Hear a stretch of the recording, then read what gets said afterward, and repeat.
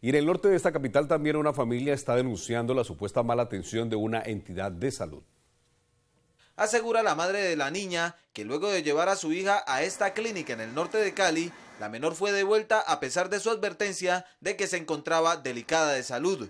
Dos días después su estado se complicó y tuvo que traerla nuevamente con un cuadro de peritonitis que por poco le cuesta la vida. La traigo por urgencias a las 2 de la mañana, por pediatría, pues la atención como siempre, pues acá es un poco esperar, hay que esperar siempre.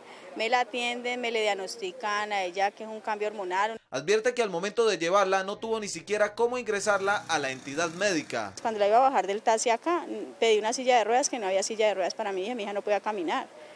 Eh, que una camilla no había camilla. Le digo a la guarda y que no, que no había nada. La Secretaría de Salud investiga si se prestaron los servicios necesarios a la pequeña. Pudimos, digamos, gestionar las dificultades que tuvo la niña en un inicio para eh, su atención eh, eficaz.